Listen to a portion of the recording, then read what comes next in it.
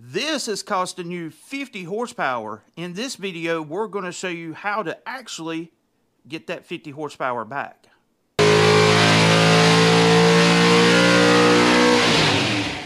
So if you watched the last video that we did flow testing the uh, Edelbrock Performer RPM cylinder head for Project Mission Impossible, you've seen that we discovered a problem. Basically, here's what happened. With the th stock 318 bore, the heads, the valves were shrouded. With the bigger bore, they weren't. Now, he here's the deal. Not only did we get more flow from the bigger bore, but also we got more cubic inches. So an overbore is worth more than just the extra flow or more than extra cubic inches. And Andy, read the numbers out. So check this out. This paper represents a 4030 bore, which at 500 lift, that cylinder head flowed 252 CFM on a 4030 bore. Doing nothing but putting it on a stock 318 bore size, which is 3.91, at the same 500 lift value, it shrank to 225 CFM. That's over 10%. That's over 10%. I hadn't looked at it like that. Yeah, over 10%. So, with the small bore and the shrouding, you're losing something like 6% cubic inches and 10% flow. What's that worth? Could be as much as 50 horsepower. So there's our problem. Now, here's what most people tend to forget about flow benches. Most people think of flow benches as just, hey, I'm going to flow this cylinder head and it's going to tell me if it's good, bad, or indifferent. We, on the other hand, use it to figure out how much flow we can gain.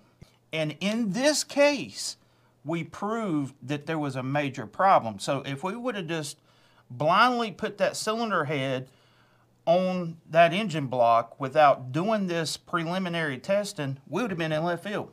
Yeah, well, something I didn't mention. That's 27 CFM at the top end of the lift. it was basically 10% down all, the the, way. way. through. So all of you Mopar guys who think the 188 valve is a better answer, you're right. It is because it's less shrouded. But we're looking for maximum power in this stage two build, and it's my job to cram every bit of air that I can get into that cylinder. And in order to do that, we've got to fix this shrouding. Now, how many ways are they to do that? That is what's going to be answered in this video. Well, you didn't think I was going to stop at a roll of paper tape and cutting out a notch with a knife. No, no, Andy doesn't stop at simple stuff. He We- we- has to take it to the bitter end. That's right.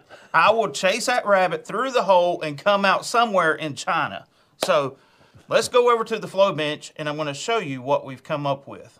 When I told you we would chase that rabbit down the hole, you know, the idea came to me that we have a 4030 bore fixture here that's pretty much non-adjustable.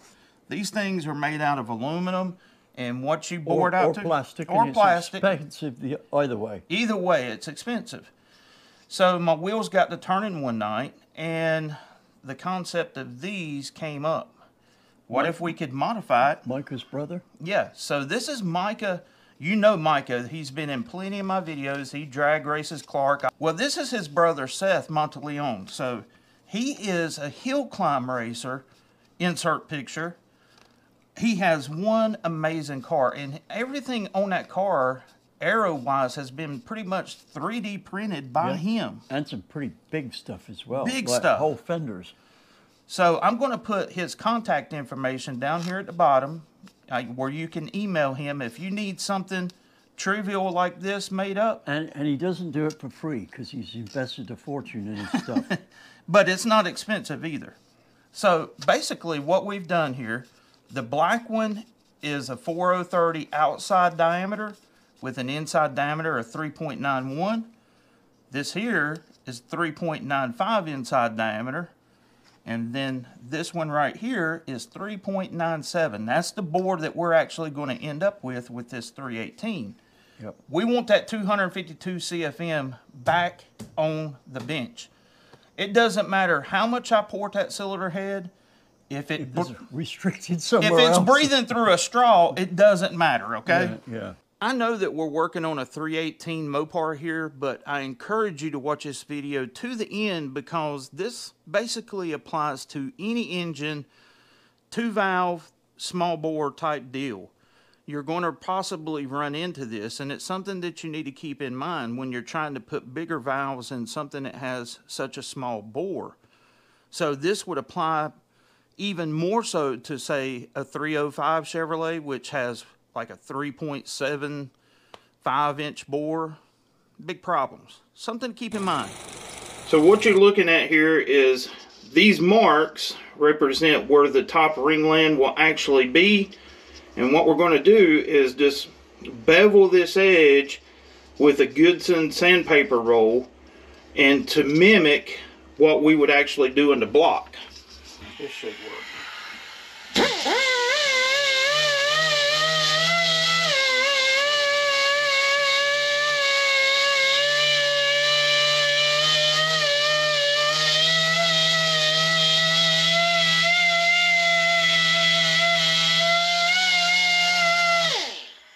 So what we have here is the bore fixture or sleeve is actually in the fixture.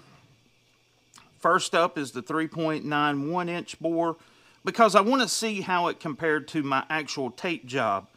There was a lot of naysayers out there, so let's see just how different it is. In the one video where I CC'd the combustion chamber, there were a ton of people who said that I didn't have a spark plug in there. There is proof and that is a three quarter inch reach spark plug. So I do not like these threads right here the sharp edges. That spells a recipe for detonation. So we're gonna have to enlarge this chamber to get some better flame travel because that's what we're stuck with.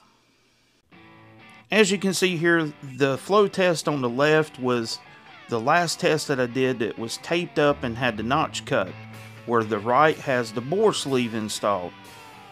There were viewers who said that the first test was invalid because it wasn't an actual bore, but you can see that the numbers are close.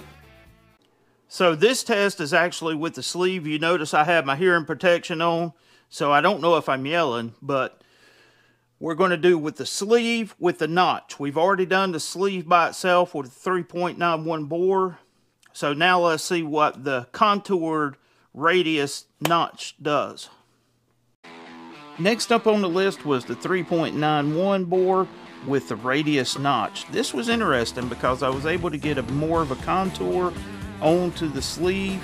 Compare this to the 3.97 bore sleeve with more just of a chamfer. You can see that we're getting closer to the original flow numbers in the original test, but we're still far away.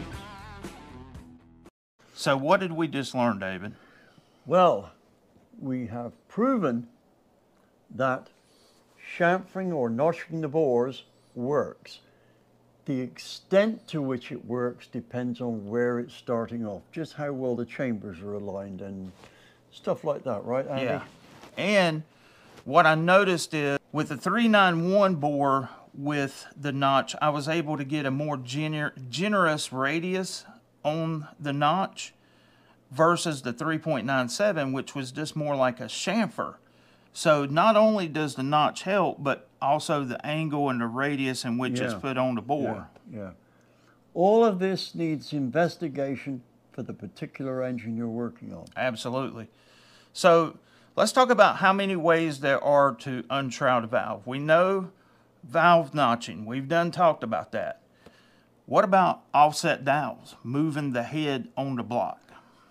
That can help, but it depends where the valves are to start with, right? If they're not, if they're way off center line, mm-hmm. it can help. But the closer you get to the valves being on center line, the less it does. Like this cylinder head here, which is more close on center compared to what a Chevrolet is. Yep. But there's one option out there that you have may never have thought about. What about offset boring the block? So what I'm getting ready to show you here, I'm going to shift the head over 50 thousandths. When Andy said offset bore the block, There, what, what, I think what he's talking about, correct me if I'm wrong here, where you bore the block so that the bore is moved towards the intake valve. So if you're boring 60 over, you can move the bore 40 that way so that 40 come off this side and only 20 off this side. Bingo. It's going to be really cool. Now, this block that I'm using is a standard bore block, and I really think it'll clean up at 10 over, which would mean bore 10 off of one side and 50 off of the other to come up with the total amount of 60 over. But either way, there's a commenter, and I'll put a post of it up, who actually made that suggestion. So I was already thinking in that, but I didn't say really anything because I wanted to save it for this video, but I give you major props for thinking outside the box because that's what this whole project's about, thinking outside the box. That's what winning races is all about. That's exactly right. And so hopefully whatever we learn throughout this process and we put here on YouTube, you can somehow apply it to your project so that you know that the next time you build an engine, you're going to make more power. That much better, yep. So Remember, other than major modifications like getting your camshaft right or porting the cylinder head so you flow a bunch more air in that, most gains are incremental. When I say incremental, I mean small increments. Five horsepower there, two here, six there, four here. Now, that doesn't sound much, but if you've got 20 of those, you've got the other guy beat. Yeah. So let's see what this thing does when I kick the head over. So I've already stated how I located the cylinder head to this since we're clamping it down. I'm actually using the dowel pins. I'll stick one here, then I have one on the other side coming through the fixture to locate the head in the same spot every time. That is the key to this whole testing. But you notice I have the indicator here. So what we're getting ready to do is move this head this way. And effectively what we're doing is moving that intake valve away from the cylinder wall. All right, you can see that I've moved the cylinder head 50 thousandths here. Uh, this is going to be quite interesting because I've never done a test like this, and that's what makes it so cool. We're going to see because what's going to end up happening is this is going to make the engine think that it has a 4.01 inch bore instead of the 3.97 and that is key because we want to get back to the 4030 if possible but we can't. So I think this is going to get most of our flow back but I'll only know when I do it.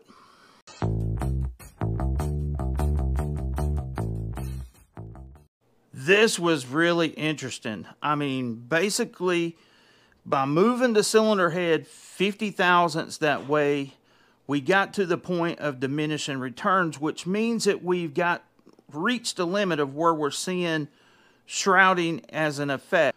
All of this is dependent upon the thickness of the cylinder walls in that block. I know that Shane Polito sonic tested it, but I want to sonic test it again to make sure that we actually have room to do it. I've talked with uh, Eric Hester of M&E Engine Services up in Shelby, and he said, "Yeah, we can we can do it." This is an old school trick that's meant to save an old block that may have a rough spot in one side of the bore. They will offset bore it to clean it up. Um, not something that most people do typically to make power, but in the case of this 318, if we can do it, that's what we're going to do. As you can see, we have nearly gained back all of the flow that was lost in the original flow test. With the 4.03, yes, it's still flowing more, but with the offset 3.97 bore, we are in the ballpark. We are a few numbers away, and that's something I can work with we're within a couple horsepower, not 50 horsepower. So like I said earlier in the video, there's many reasons to use the flow bench. And in this case, we actually found a problem, which is a good thing because we can do our best to try to rectify the problem before we put the engine together. Another thing that most people do not think about is They will spend tons of money on cylinder heads and then take an out of the box manifold and plop it on those cylinder heads. Let's take a look at this intake and I'm going to show you what I'm talking about. For the stage two of the Mission Impossible 318 build, these are going to be the top dog intakes. I can tell you without a doubt. Now this is a old school Edelbrock Victor 340 and while you may say it's big, I guarantee you if you bolted this intake manifold to the cylinder head as it's cast, it will probably knock 20, 30 CFM off of it. We've got to get the flow of this manifold up. A lot of sharp edges right here inside the plenum. Um, I know Charlie Servideo did a porting video, and I need to go back and watch it. Because if I'm not mistaken, he got one of these near 300 CFM, and that's kind of where I want this manifold to end up. I know they make a Super Victor version, but for this application, I think the Victor 340 is going to be better because I can port this manifold to get to the point where I want to need to be. The Super Victor, I think it would be too big a manifold for a 318. If it was a big cubic inch deal, that would be the way that I would go. Then, y'all know my personal favorite, the Tunnel Ram, Tunnel Ram Mafia. I mean, this thing is just super cool. The old school TR5. This is going to be awesome. Which one's going to make more power? This or that? Put it in the comments. Which one's going to make more torque? So I hope you got something from this video. I was surely enlightened by the whole thing of bore shrouding, and I never thought I would go down that rabbit hole, but I did. And now we actually have a plan. I didn't flow the 3.95 because I figured, well, you can read between the lines of what the 3.91 and the 3.97 did, and you would get a good idea of what the 3.95 would do. Basically, the bigger you make the bore on a 318 with a good cylinder head, the better off you are. Um, that pretty much wraps this video up. So until next time, this is Andy from Unity Motorsports Garage. Thank you, Seth, for the sleeves. I will catch you later.